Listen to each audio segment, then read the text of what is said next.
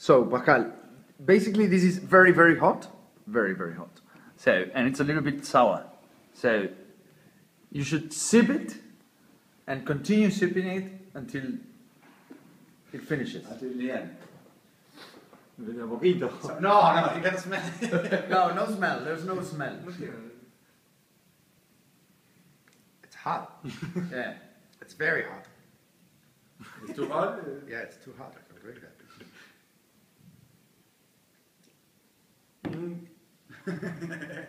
what the heck?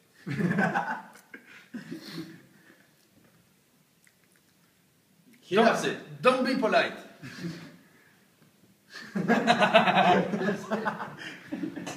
what is it? Mate. Yerba mate. It's, it's fashionable in California now. Marijuana?